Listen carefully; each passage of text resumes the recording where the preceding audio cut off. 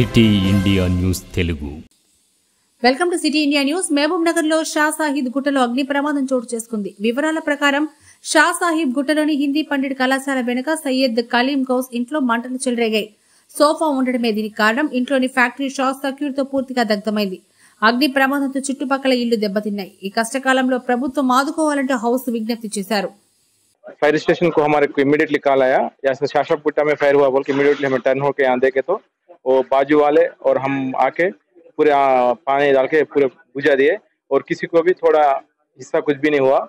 ये फायर होने के बाद तुरंत ही पूरे लोग इसमें इन्वॉल्व होके ये करे। सो इससे पहले हम फायर को और आस्ती नष्टम प्राण नष्टम बोल के बताए वो नहीं हुआ।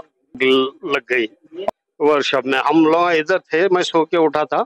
बाहर मुँह धोने का आया, देखा तो थोड़ा आग लगी थी। फिर दौड़ के मैं पानी लेके भागा करा, ये थोड़ा भी मेरे को ये हो गया, जले जैसा भाप लग गई। बचाने की कोशिश करा, जब तक लोग भी थोड़ा आए, मदद करे, मगर पूरा जल गया, कितने शेड भी जल गया, हर चीज़ जल गई। अल्हम्दुलिल्लाह, कोई जानी नुकसान नहीं है। बस ये है कि सिर्फ़ पैसे का नुकसान हुआ, समझो। टी शर्ट जल गया, और वो वायरा थोड़ा सज्जा वगैरह सब जल गया है। हुकूमत से मेरा मुतालबा है। थोड़ा मेरे लिए कुछ हेल्प करे तो अच्छा रहता। मैं मजदूर आदमी हूँ, गवर्नमेंट जॉब वाला नहीं हूँ। और सिक्सटी सिक्स ईयर्स मेरी एज है। मैं क्या मेहनत करूँगा? मुझे बेटे भी नहीं है कमाने के लिए। कोई भी नहीं है। बच्चियाँ थे शादियाँ करा हूँ। एक बच्ची और भी घर में है शादी की। ऐसा कुछ भी नहीं है। समझे? अब मेरे पास क्या तो मजदूरी करके खाने वाला हूँ मैं। खाली घर बना लिया पहले। मगर अब नहीं है कुछ भी मेरे पास। अब मैं जो है, मेहनत करके खाना है टेलरिंग करके। बस थोड़ा सोफे का भी काम आता, थोड़ा रिपेयरिंग विपेयरिंग कर लेके काम कर लेता हूँ। मेहनत कर लेके खा रहा हूँ, बस। ये हुकूमत से मेरी ये है, और मेरे को पेंशन भी नहीं आता।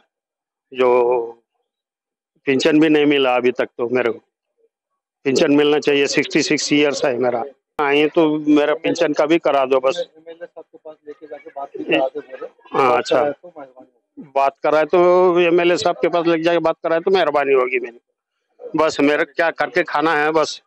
कोई गवर्नमेंट ये, कोई प्लाटा नहीं है, कुछ नहीं है, ये एक ही घर है।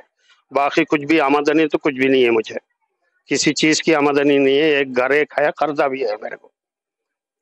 पंद्रह बीस लाख रुपए कर्जा भी है, बच्चों की शादियाँ करा था, वही कर्जा है, बस। बाकी कुछ भी नहीं।